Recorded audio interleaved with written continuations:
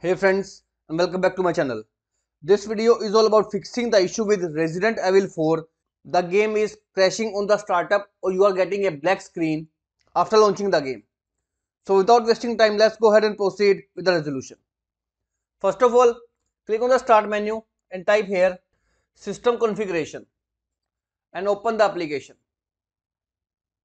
Now in the services tab you need to find a service with the name Nahimic whenever you find that particular service just click on that service and click on the option disable. After disabling hit apply and ok button. Now go ahead and try to launch the game and check if you are still getting the crashing issue while playing the Resident Evil 4 in next method I suggest you to disable third-party antiviruses if you have installed in your system such as Avast, AVG or Norton because they seems to be an issue while playing Resident Evil 4. If this also failed, click on the start menu and type advanced system settings. Open the application. Here under the advanced tab click on the option settings and again click on the advanced tab and choose the option change over here. Uncheck the option automatically manage paging size and then in whichever drive your game is installed CD or E select that particular drive and click on the option custom size. In the initial size, type in the maximum available RAM in your PC in MB. Suppose I have an 8 GB RAM, so I'll type here 8000 which is nearby 8 GB. And in maximum size, type in 4 times the available RAM. So again, if I have 8 GB of RAM, I'll type here 32000. Now hit the set button. Once it is done, hit the OK button.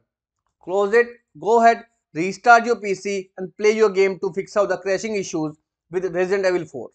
If this also failed, head over to settings menu, choose power and battery and from here under the power mode, go ahead and try the best performance mode to make the complete usage of your CPU as well as GPU while playing the game. Now if these methods fail to work out, in next method you need to update DirectX as well as Visual C++. I'll share the link in the description of this video. First of all, download this DirectX by hitting the download button and save it into your PC. Secondly is Visual C++. Click on the x64 option and again save this also in your PC. Once the program was downloaded, go ahead and install both the programs in your system simply by double clicking on each of the program and accept the terms and conditions and proceed with the on-screen instructions to install Microsoft Visual C++ as well as DirectX into your system. Once it is done, make sure to restart your PC.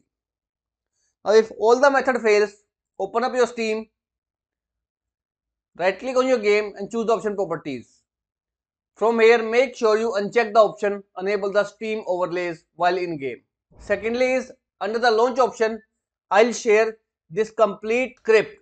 Just go ahead, copy this complete script and paste under the launch options and this will fix out the issue of Resident Evil 4 crashing on startup or black screen whenever you play the game. So this is all about it friends. This is how you will fix out the issue. If this video works out for you, I request you to please click on the subscribe button and turn on the bell notification icon to continue receiving updates from my channel. Thank you so much friends. Thank you for watching.